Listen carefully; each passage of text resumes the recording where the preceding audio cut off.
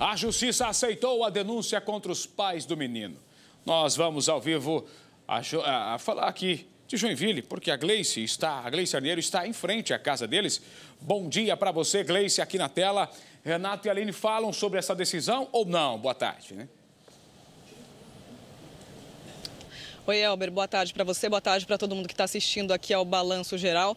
Aline e Renato não atenderam aos nossos telefonemas ontem e hoje a gente tentou aqui conversar com eles, a gente está em frente à casa deles, mas ninguém quis se pronunciar. Inclusive, no momento que a gente estacionou aqui, a gente foi recebido por uma moça que estava bastante exaltada, disse que a nossa equipe não poderia estar aqui, mas em seguida essa moça entrou no carro, deixou aqui o local. Logo em seguida saiu também uma moça trajando um jaleco, que provavelmente pode ser aí alguma enfermeira enfermeira ou alguma fisioterapeuta que está ajudando no tratamento do menino Jonatas, mas Aline e Renato não apareceram por aqui, não quiseram se pronunciar e como você disse, Elber, a situação está complicada para eles agora porque eles se tornaram réus, porque ontem o juiz da quarta vara criminal de Joinville aceitou o pedido aí, a denúncia feita pelo Ministério Público contra a Aline e contra o Renato Openkoski, porque eles teriam desviado dinheiro do tratamento do Jonathan, usado dinheiro do tratamento do Jonathan, que aconteceu essa arrecadação aí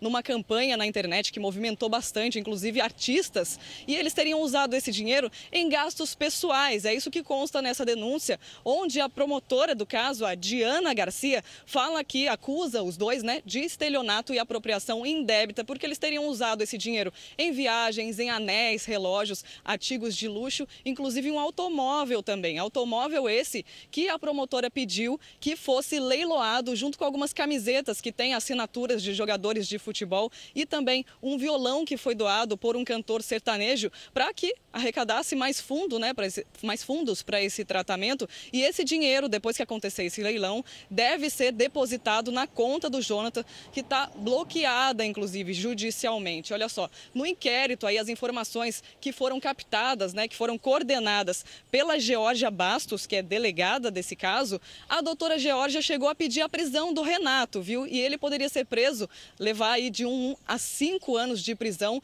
por esses crimes que eles cometeram, mas no primeiro momento o Ministério Público acabou não aceitando ali, mas a situação pode se complicar agora que eles se tornaram réus, né? E agora vão acontecer primeiro algumas audiências de instrução e só depois deve vir o julgamento de fato, mas isso ainda não tem um prazo para acontecer.